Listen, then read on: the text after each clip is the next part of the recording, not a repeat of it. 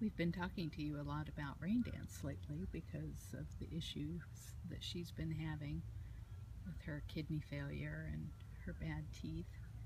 But Little Dove was also from that same fur farm rescue. So I thought I'd come out here and see if I could find her so you guys could check in with her. Where's my little dove? You got a room addition. So she used to have that section over there, this section here. Now they've added a tunnel that gives her two more sections over here. So all in all, she's got somewhere in the neighborhood of 2,400 to 3,000 square feet of cat-a-tat.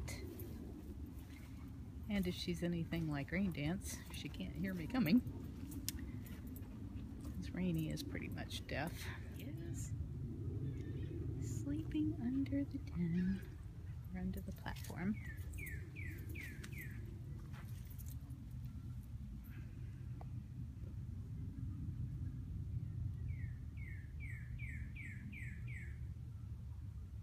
For those of you who are wondering, that is a real bird in the background.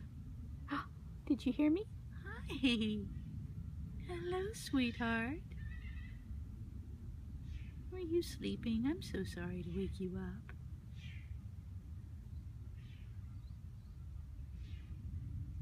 You look good. Yes, you do. Bye.